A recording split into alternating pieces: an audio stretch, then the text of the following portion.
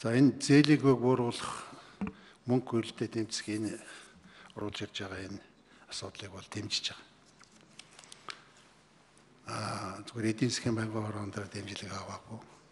Гэтэ би бас нөхдөөдөө энийг дэмжиж хилцээ яваа гэж одоо нөхдөөдөө уриалж байгаа. Энэ зээлийн хүүг бууруулах чиглэл яг нь ер нь бол ягаад дэмжигдэг вэ гэхээр төрийн зохицуултын арга эдийн засгийн аргыг хослуулъя гэсний санаа хэлсэн. За энд бол төрийн зохицуултын арга нь бол явж байгаа.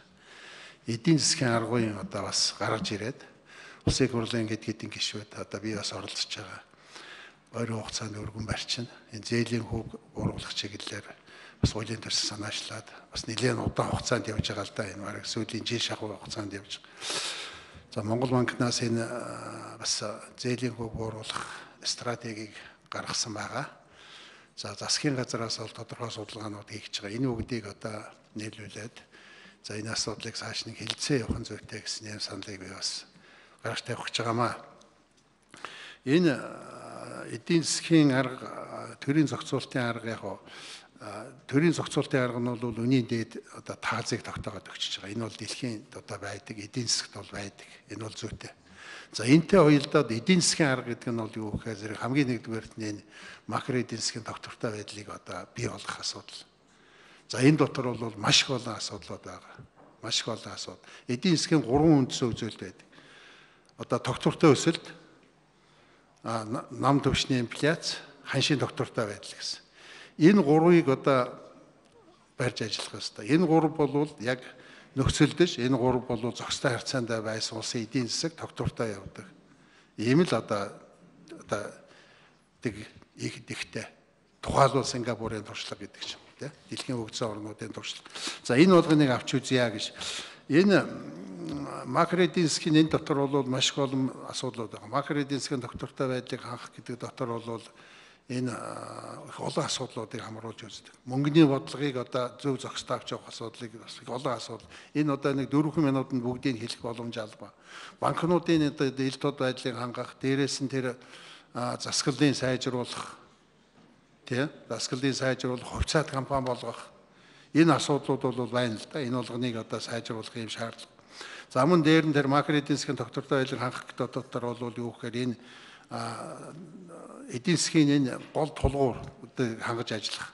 Тухайлбал одоо хөрөнгөний зах зээлийг одоо эдийн засгт ханга одоо өөрөөр хэлбэл эзэлж байгаа хувийг одоо нэмэгдүүлэх, банкны ус салбарын одоо эзэлж байгаа хувийг нэмэгдүүлэх гэдэг их олон асуудлууд байгаа. Энэ болгондоор бол тодорхой одоо саналууд гарцсан байж байгаа учраас энийг хослуулад одоо энийг Эрдэнэ гишүүний гэсэн энэ саналдаар нэмээд ингээд одоо хилцээ явах зүйтэй юм а гэсэн ийм саналыг бол хэлэх гэж байна. Дараагийн асуулын мөнгө хүлт. Мөнгө хүлт бол яг эдийн засгийн шимэгч шимэгч гэж үздэг. Мөнгө хүлтийг одоо эсрэг болвол бид тэмцэх ёстой. Хууль тогтоомжийн хүрээнд мөнгийг мөнгөөр мөнгийг бий болгохыг л одоо тэр хууль бус аргаар мөнгөөр мөнгийг мөнгөөр бий болгохыг л хүлт гэж яриад байгаа шүү дээ. Хууль тогтоомжийн дагуу хийж байгааг нь бол одоо хэвийн үйл ажиллагаа гэж ингэж үздэг. Манайд бол үнэхээр одоо замраа алдсан мөнгө үйлд. Одоо тэр дөрөвчээс сая хэлж байна. Цаашдаа бид нар бол энийг одоо эдийн засгийн арга дээрээс нь төрийн зохицуултын аргыг хэрэгжилж мөнгө үйлдээ дэмжихгүй бол Монголын малын ихэнх нь одоо банкны мэдэлд байж байгаа. Асар хэмжээний одоо байр төрөө олж аваад тэргээ түрээслээд одоо эдийн засаг сөрөг одоо ерөнхийдөө ард иргэдийн амьдрал сөрөг ийм зүйлүүдийг бий болгоод байгаа жишээнүүд бас Монголд бол Батмөрөг шүн 1 минут нэмж өгье. Тэгэхээр энд энэ Монгол банкнаас асуух гэж. Ер нь бол зээлийн хөөг цаашдаа тогтвортой хадгалах бас нэг зүйл бол ханш байна. Сүүлийн үед одоо ханш одоо өсөж байна. 50 60 төгрөгээр нэмэгдчихлээ. Энэ бол одоо Улс дорнд бол 50 60 төгрөгөөр ханш үнгүүтэх бол их том асуудал бол. Энэ юунаас болж байна? Энийг бууруулах ямар арга замууд байна? А энэ сүүлийн үед эдийн засгт гарч байгаа нэгдэх асуулт дээр. Сүүлийн үед эдийн засгт гарч байгаа энэ нааштай өөрчлөлтүүдийг а тэр макро эдийн засгийн доктортой харилцааг бий болгох, энэ ханш инфляцийг одоо доктортой байлгах чиглэлээр энэ төрийн зохицуултын аргатай хослуулж энэ э, зээлийн хөг буурах ямар боломж байна? Би Монгол банкныхнаас энийг асууж байгаа. Ямар одоо би нөхцлүүд бий болоод сүүлийн үе сайн орой гэлвэл эдийн засаг одоо нааштай өөрчлөлтөөр та хамтруулаад зээл За хариулъя. 80 дугаар амт. Монгол банк хариулъя.